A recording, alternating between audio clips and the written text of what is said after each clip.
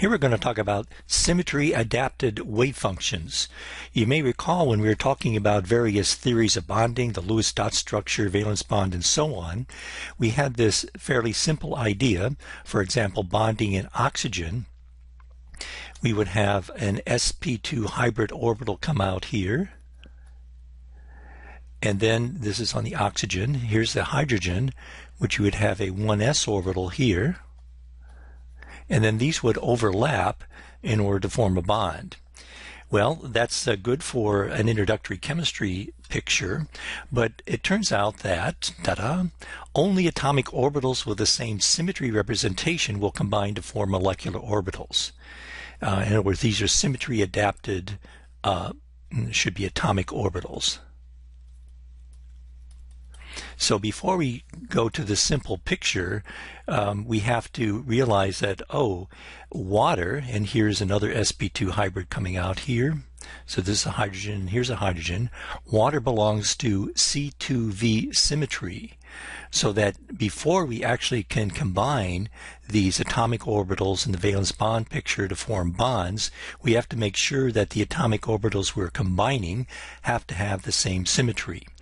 In other words, um, they, another way to say that is that each uh, atomic orbital uh, that we're combining here has to combine with the same symmetry of the atomic orbital on the other atom in order to form a bond. And the way we're going to do that is to combine the um, atomic orbitals in such a way that they have the symmetry of the molecule, then look at the irreducible representation of those atomic orbitals. And only orbitals, or only atomic orbitals that have the same irreducible representation will overlap and combine to form a molecular orbital. So uh, there's recipes uh, to determine how you combine the atomic orbitals in such a way uh, before you actually form the overlap and bonding orbitals, as in uh, the valence bond picture or the molecular orbital picture. These are formulas and not too useful. It's just a recipe. And I posted online a uh, procedure you use uh, to form these symmetry adapted linear combination of atomic orbitals. And you can follow that with water. Let's do a couple examples here. What is an A1 uh, symmetry adapted linear combination of atomic orbitals? made from the 1s atomic orbitals of uh, in ammonia. All right, well, let's take a look at ammonia.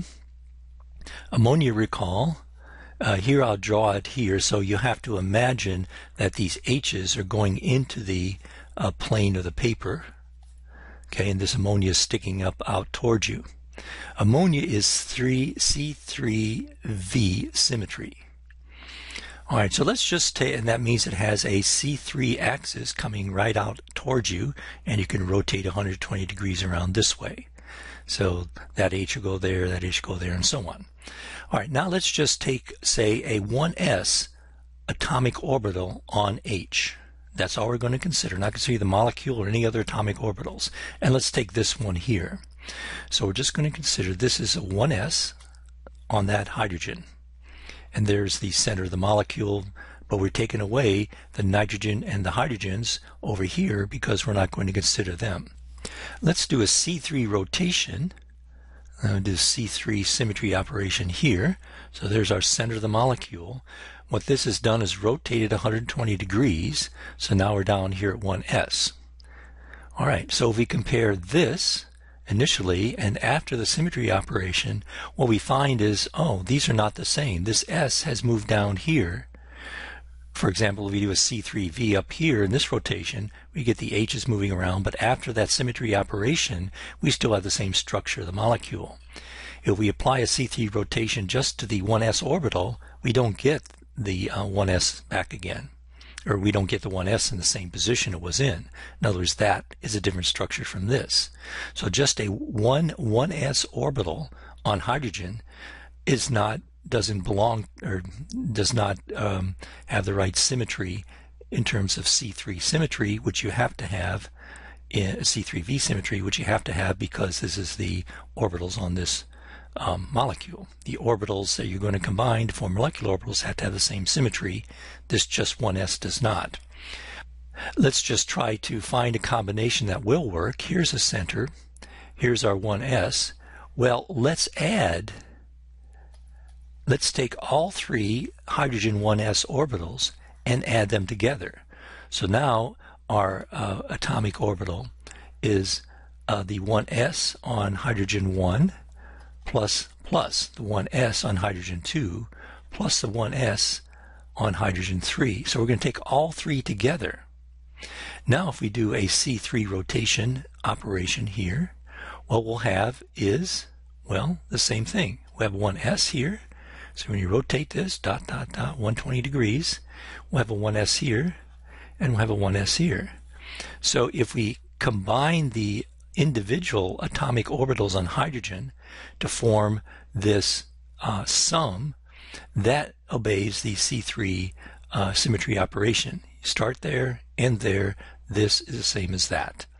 All right, so that's one combination that we can do. So we add up all these atomic orbitals, and that's the atomic orbital that we're going to use in order to combine with various orbitals in nitrogen. So that's what that means when you um, do a uh, symmetry adapted linear combination of atomic orbitals. And that was just an example for the 1s.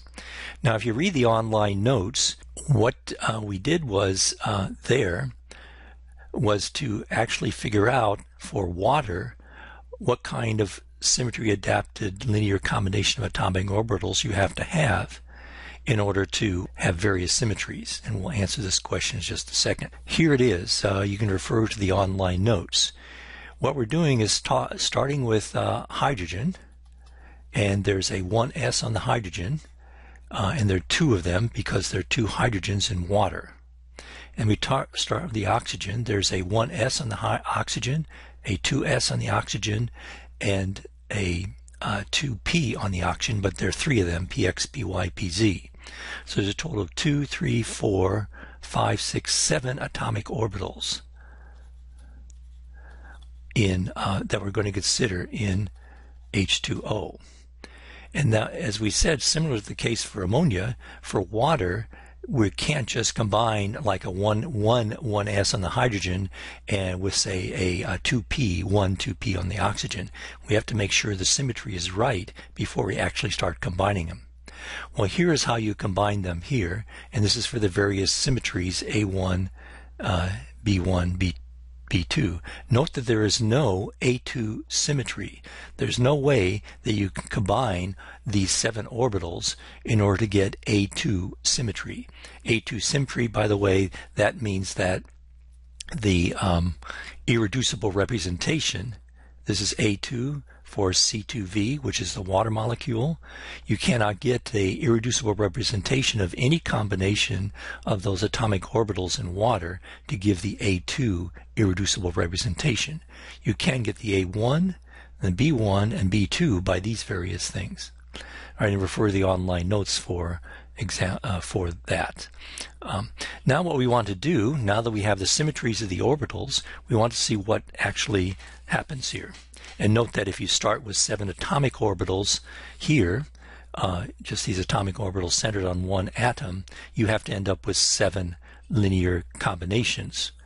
Uh, that's the conservation of orbital number of orbitals property. All right, so let's uh, reproduce this here. Let's do um, one of these one of these bonding molecular orbital things. So let's put the two hydrogens over here, and let's put the oxygen here. Now, as we said, and we're going to label the orbitals by their symmetry. Okay, that's uh, seems to be a good way to do it. So let's say this, remember for the hydrogen, let's go back and take a look here. For the hydrogen, there's this one here, it's A1 symmetry, which is you're adding the two orbitals the, on atom 1 and atom 2. And then there's this B1 symmetry in which you're subtracting the two atom uh, 1s on atom 1 minus 1s on atom 2. So there's the two hydrogen orbitals that we've just added and subtracted. All right. So let's uh, put those in this diagram. We probably would expect that the A1, which represents the 1s plus 1s, might be lower energy, but maybe not. We can actually put those orbitals in the um, uh, Schrodinger equation try to solve their energies.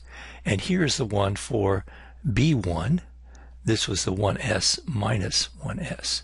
All right, so those are the two uh, atomic orbitals on hydrogen, on the two hydrogens. We're considering those together as A1 symmetry where we've added the two and B1 symmetry where we've subtracted the two. Now, the remaining five orbitals um, here are the 1s on oxygen, the 2s on oxygen, and the three 2p's on oxygen. And they have A1 symmetry and B1 symmetry and B2 symmetry. Okay, or more precisely, they're represented by the irreducible representation B2, B1, and A1. All right, so let's put those in the molecular orbital diagram here. We expect that this was the A1 for the 1s. We expect 1s to be tightly bound, lower energy, and so on. Now we'll look for uh, the A1 in the 2s. We'll put that one there. And then we got the p orbitals up here. We'll say we have an A1 p orbital with A1 irreducible representation. We got a B1 and we got a B2. The A1 was the 2PZ. All right, just to uh, refresh our memories here. Uh, all right, so the A1, oh yes, 2PZ, there's that one. We did these two, the A1s of the S's. As you expect, those just single S's would have A1 symmetry, all ones, nothing changes sign with an S orbital. And then we have the B1 for the PY and the B2 for the PX. Okay, so let's put those in the diagram here. This is the B1 was the 2PY and the B2 was a 2PX. All right, so now we have these atomic orbitals here and here we have atomic orbitals, which are symmetry adapted atomic orbitals. And now we're going to combine them. All right, here's the A1 on here. That can combine with A1, A1, or A1. Well, uh, if you look at energies, this one is going to combine for the one that's closest in energy, which will be that. So we're going to put a bonding and an antibonding here. So this A1 will combine with this A1. And if you have two atomic orbitals, you're going to make two molecular orbitals. And we'll call this lowercase a1 and lowercase a1, which denotes, oh, maybe we should put a star here for antibonding, uh, which denotes the symmetry. All right, now we got the B1. The B1 is closest in energy to the P's, and there is no other B1, so it has to do that. So here we'll combine the B1 with the B1 to form this bonding orbital. And we'll put a B1 up here. That will combine with that. B1 will combine with that. And then you're left over this B2, and that will just be a non-bonding atomic orbital. And then, of course, these carry over here. They're not bonding, so that's that. And it's not bonding, so that's that. So there is the molecular orbital diagram. So that's atomic atomic combining to form molecular orbitals. And then you start putting in electrons. But note that some of these don't have the right symmetry. So B2, there's no combination over here that has B2 symmetry. So that has to be, the 2px has to be a non-bonding pair of electrons. And then um, the A1s uh, combine this way. All right, so let's now put in some electrons. There are, um, uh, what we say, uh, two, uh, let's see, 2 plus n. So we're using the 1s and the 2s. So oxygen has 8 electrons, and hydrogen, each one has uh, 1 electron, so that'll be 2 electrons. So we have a total of 10 electrons we could put in this molecular orbital diagram. Let's rewrite this over here uh, so that we can uh, be a little more clear. So there's that and that. Those are non-bonding.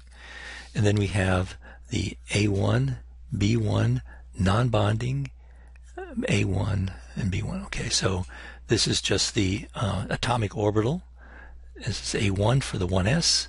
This is A1 this is molecular orbital A1, molecular orbital B1. This is the non-bonding electron pair from the oxygen. We'll put that over here, B2. And I'm, I didn't want to write in there, so I could put the electrons in there.